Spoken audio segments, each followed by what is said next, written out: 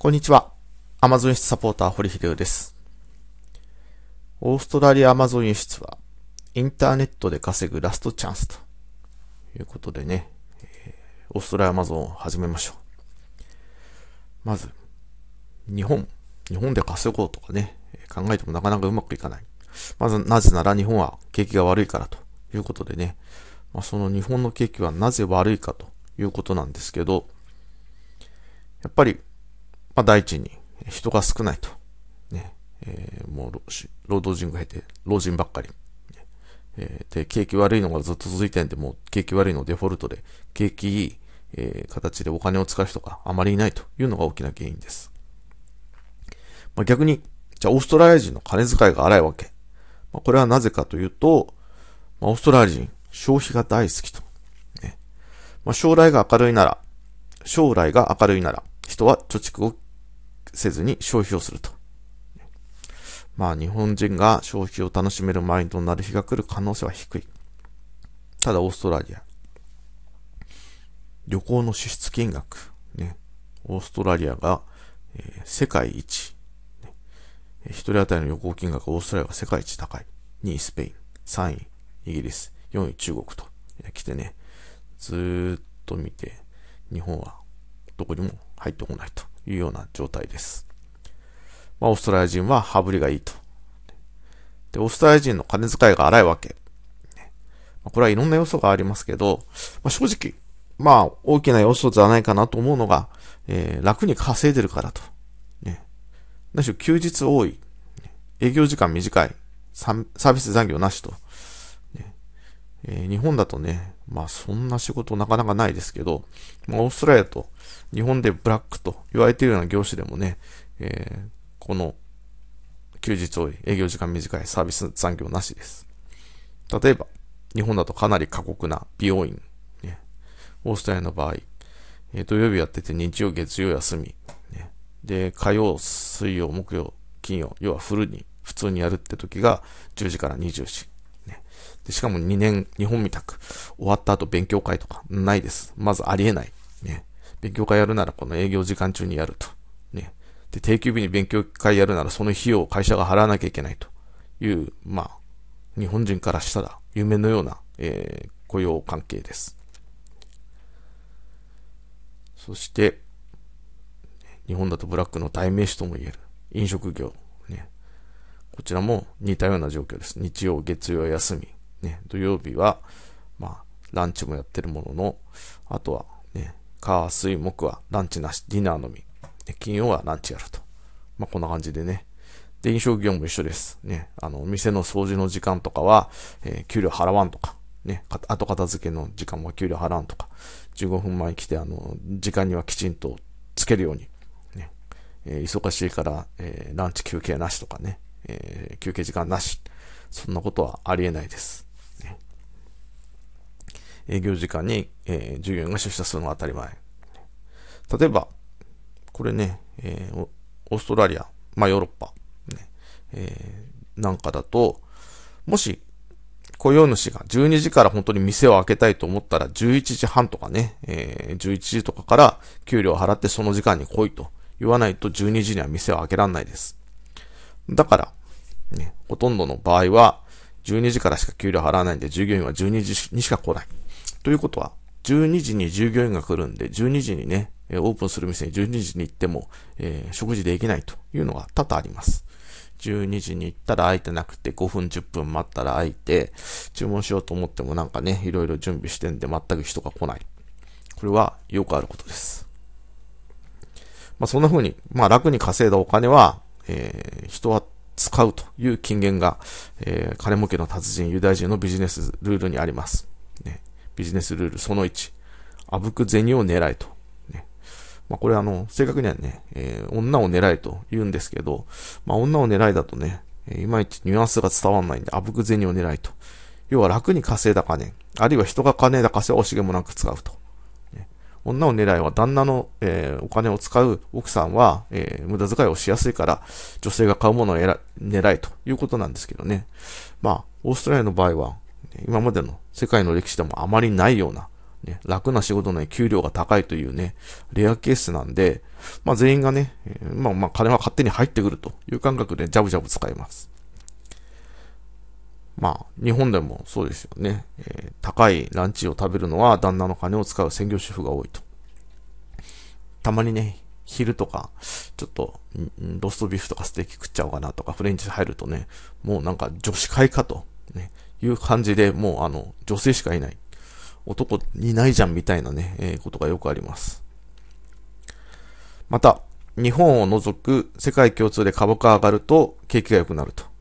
これは不労所得の株で儲けた金は散財しやすいから。株価が上がると消費が増える。これはもう世界の常識。まあ、ただ日本みたくね、えー、株で上がって儲かってる人はほとんどいないのに、まあ、えー、国が株価を買い支えてるというのもね、まあ、これまたあの、世界史上初のことなんで、株価が上がっても消費は増えないと。ね、国がお金吸って株価買い支える。すごい、すごい大胆なねえ、発想だなと思うんですけど、まあそれは今回本題じゃないんでね、まあオーストラリアは景気がいいから、オーストラリアまずは始めましょうという話なんで、まあ脱線するんでやめときますけど、まあ、そんなこんなで27年間不景気知らずのオーストラリア。オーストラリア人は羽振りがいいです。インターネット物販で稼ぐなら、一番のおすすめはオーストラリアアマゾン。副業初心者でも本業以上に稼げるチャンスがあります。ここで Amazon の、ね、アメリカ Amazon のサポート実績、ね、じゃあ、私のように Amazon 室始めてどれぐらい儲けられるか。ね、先行して、えー、アメリカの Amazon を始めた方は、えー、今年の、あ、去年の年末のね、これ売上報告、ん？これ去年年末じゃないか、17年。えー、っと、2年前か。2年前の8月の売上報告で1万1000ドル。ね、あるいは、まあ、初めて、えー、すぐに、えー、3000ドル、6000ドルというようなね、えー、金額を、えー、実績として挙げていただいてます。まあ、これね、半年、あ、これ、そっか。去年の12月の資料じゃなくて、半年でどれだけ売れたかってこれ資料でしたね。えー、半年でどれだけ売れたかっていうので、まあ、このように、えー、まあ、3000ドル超える、6000ドル超える、中には1万ドル超えるというような実績を上げていただいてます。まあ、これだけ短期間にね、売上げ上がって、しかも利益も出ると、結果が見えてくるっていうのはもう本当にアマゾンがあってこそと。ね、まあ、これ他の例えばね、えー、まあ、投資 FX で儲けようとか言ったら、まあ、半年ぐらいじゃずっと損してるだし、市場損する可能性も高いだろうし、アフィリエイトだ、アドセンスだ、ね、えー、いろいろやってみても半年で結果はまず出ないと。ね、えー、ネット販売でも独自ショップなんか作ったらね、半年で商品が見つかってないとか、サイトができてない可能性すら高い。そこ行くと Amazon の場合はもう半年でえこれだけの売り上げ上がって、しかも利益も出るようになるというね。もう、結果が出るのは早いし、やることは単純なんで楽です。アマゾン、オーストラリアが始まりました。まあ、スタート時にはね、え、日本、アメリカ、ヨーロッパを上回る過去最高の売り上げを記録と。まあ、これどういうことかというと、それぞれ今ある、アマゾンある日本にもありますし、え、アメリカはもちろんありますし、ヨーロッパのね、いろんな各国、フランス、スペイン、ドイツ等にもあります。で、それらの国で、えー、オープン初日に売り上げた売り上げとオーストラリアのアマゾンを比べると、オーストラリアアマゾンがやはり過去最高に売れてると。で、現在はオーストラリア、メルボルンとシドニーで2日で届くアマゾン、FBA の倉庫は稼働済みです。アマゾン市場はブルーオーシャンです。まあ何しろオーストラリアは浪費家が多いと、え、しかも所得、オーストラリアの平均所得約712万うん、大したことないねって感じなんですけど、まあ日本から言うと結構高い。ただ、オーストラリアの場合はね、共働きできる社会の仕組みになってますんで、平均収入はこの2です。かける2。だから平均世帯収入が1424万円と。これ平均ですからね。高所得じゃなくて、平均で1424万円。で、これだけ高所得なのに、貯金は全くないと。生活苦しいと。そりゃそんだけ金使いは生活苦しくなるわっていう感じでね、えー、浪費家が多いのはオーストラリア。まあ、先ほども言ったように、オーストラリアの所得が高いわけは楽に稼げると。例えば日本だと最近ね、このテリーとのお兄さんがやる卵焼き屋さん。不法就労でね、中国人、ビザ持ってない中国人働かしてたというのでね、えー、書類送検されましたけど。まあ、こんなのオーストラリアだったらね、もうあの、廃業です、多分。廃業するようなペナルティ課せられると。だからオーストラリアはね、え、その、儲かんない儲かるとか、以前にもその高い給料払って儲かる、えー、レストランなりビジネスしか成り立たないというのがあります。あの、反省しますとかね、見直しますなんて悠長なこと言ってんじゃなくて、罰金払えないからもう、あの、事業を畳んで、えー、廃業しますとかね、えー、事業を売却してそれをね、えー、罰金の支払いに当てますとか、そういう世界です。まあ、それだけね、えー、労働者の権利が守られてるからこそ、まあ、楽に給料もらえるということでね、えー、浪費家が多いと。すごいですよね。もう、あの、多分、日本の経営者でこれ見たらね、オーストラリア地獄だねという感じだと思います。で、そんなこんなで楽に稼いでるオーストラリア人、もうほとんどもう、金遣いの荒さが子供なんでね、政府がね、えー、こう、買い物しすぎないようにと、ね、あの、必要なもんだけ買うようにってね、もう、まるっきり、お年玉をね、もらった子供がわーって言ってね、まずかすんじゃないね、ママが預かっとくとかね、そんな感じの、えー、注意を、えー、オーストラリアは政府が国民に対してします。さらにね、オーストラリア人って旅行大好きで、世界中どこに行ってもオーストラリア人に会うんですけど、まあ、オーストラリア人ってそもそも日本のね、えー、人口の3分の1か、えー、3分の1以下しかいないのに、日本人はあんま海外で会わない。だけどオーストラリア人はあちこちで会うというのはなぜか。なんとオーストラリア人のパスポート所有率は70%と。イギリスも実は70%なんですけど、まあイギリスの場合はね、えー、パスポート持ってないと、ね、あの、ちょっとその辺に行った時に国またいじゃうんでね、えー、島国だと言っても、まあトンネルで繋がってるわ、ね、えー、あるいは、えー飛行機は LCC でね、3000、4000で他の国に行けるってんで状況違うんですけど、オーストラリアは南の陸の孤島みたいなとこにあって、海外行くにはどこにもね、高い航空運賃を払わなきゃいけないのにもかかわらず、7割の人がパスポートを持って海外旅行行ってると。ちなみにアメリカは30%。そして日本はなんと20%以下と。まあ日本人で毎年ね、海外旅行行ってますって人はめったにいませんけど、オーストラリア人で逆にね、パスポート持ってて毎年海外旅行行きませんって人も逆に少ないというようなね、もう全然あの、本当に同じ地球に住んでるんでしょうかっていうぐらい、もう意識と、えー、金遣いと、えー、旅行に行き方が違います。まあ、オーストラリアが、そんなオーストラリア、まあ、お金がいっぱいあってね、浪費家が多いんだったら稼ぎやすいのは当たり前と。で何しろオーストラリアは物価が高いです。で、価格に鈍感な人が多いと。日本だと北海道土産の定番、ロイズのチョコレート。これ日本の3倍以上の値段で販売してます。